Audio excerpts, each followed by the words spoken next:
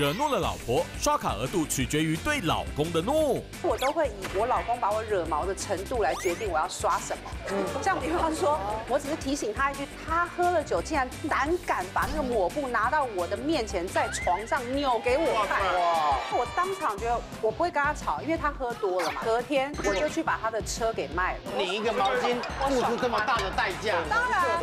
今晚九点，东升超市三十三频道，我就问你正常吗？